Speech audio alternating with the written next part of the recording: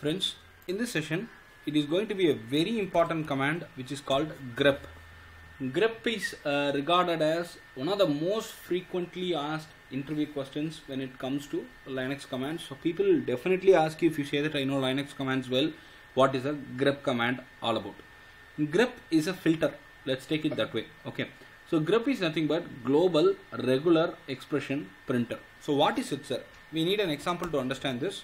Uh, let's find out how grep can be useful. cat1.txt. In this file, I have India at so many places. Now I need to find how many places and how many lines India is really available in this file. So for that, how do I uh, proceed with it?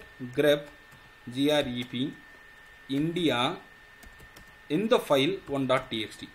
Now you can see that it has filtered out all the lines where India is available. So this is a global regular expression printer.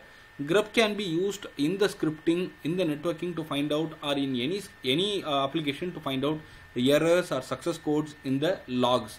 Uh, for example, if you want to search only the fail in the log, you can search grep fail 1.txt or log.txt.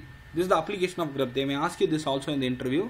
grep is a global regular expression printer. It's a very uh, effective tool which can help you to identify the bugs, identify the results properly uh, in the log files. That's the major uh, usage of this particular command that I have used in the past.